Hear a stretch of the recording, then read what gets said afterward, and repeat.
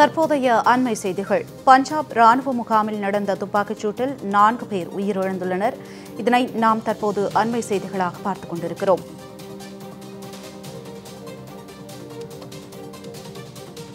பஞ்சாப் ராணுவ முகாமில் நடத்தப்பட்ட துப்பாக்கிச் சூட்டில் நான்கு பேர் உயிரிழந்துள்ளனர். அண்மை செய்திகளாக பார்த்துக் கொண்டிருக்கிறோம். தற்போதைய அண்மை செய்திகள். பஞ்சாப் ராணுவ முகாமில் நடந்த துப்பாக்கிச் சூட்டில் நான்கு பேர் உயிரிழந்துள்ளனர். இதனை நாம் தற்போது அண்மை செய்திகளாக பார்த்துக் கொண்டிருக்கிறோம்.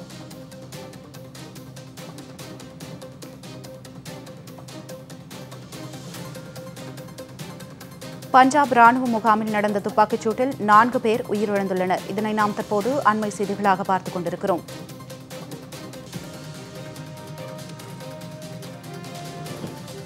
ராணுவ முகாமிற்குள் புகுந்து கண்மூடித்தனமாக துப்பாக்கிச்சூடு நடத்தியவர் குறித்து விசாரணை நடத்தப்பட்டு வருகிறது. இதுகுறித்த விரிவான தகவல்களை எமது செய்தியாளர் ஆண்டன் ஜவஹர் வழங்க கேட்கலாம். வணக்கம் ஆண்டன் ஜவஹர். விரிவான தகவல்களை சொல்லுங்க. வணக்கம் ஜெனி அதான் அதாவது நம்ம சொன்ன மாதிரி பாதுகாப்பு மிகுந்த இடம் அந்த ராணுவ நிலையம். ஸோ அந்த பஞ்சாபில் இருக்கக்கூடிய பத்திந்தா அப்படின்ற இடத்துல தான் அந்த சம்பவம் நடைபெற்றதாக தகவல்கள் தெரிவிக்கப்பட்டிருக்கின்றது.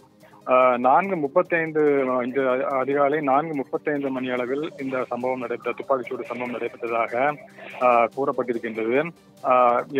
இந்த துப்பாக்கிச்சூடு சம்பந்தமான காரணம் என்ன என்பது தொடர்பாக விசாரணை நடைபெற்று வருவதாகவும் தெரிவிக்கப்பட்டிருக்கிறது. நான்கு பேர் உயிரிழந்திருப்பதாக த- தற்போது இருக்கக்கூடிய தகவல்கள் தெரிவிக்கப்படுகின்றன. அங்கே விரைவு நடவடிக்கை குழுக்களானது செ- விரைந்து செயல்படுத்தப்பட்டு அந்த பகுதி முழுவதுமாகவே சு- சுற்றி வளைக்கப்பட்டு சீல் வைக்கப்பட்டிருப்பதாகவும் ஆஹ் செய்திகள் தெரிவிக்கின்றன.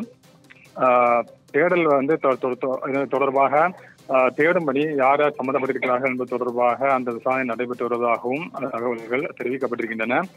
ராணுவ ராணுவ நிலையம் என்பது அனைவரும் அறிந்துதான் மிகுந்த பாதுகாப்பு மிகுந்த ஒரு இடமாகத்தான் கடத்தப்படக்கூடிய இடம் அது. அப்படி இருக்கக்கூடிய சூழ்நிலையில் அங்கு துப்பாக்கி சூடு சம்பவம் நடைபெற்றது கண்டிப்பாக ஒரு அதிர்ச்சியான செய்தியாகத்தான் ஆஹ் பார்க்கப்படுகின்றது.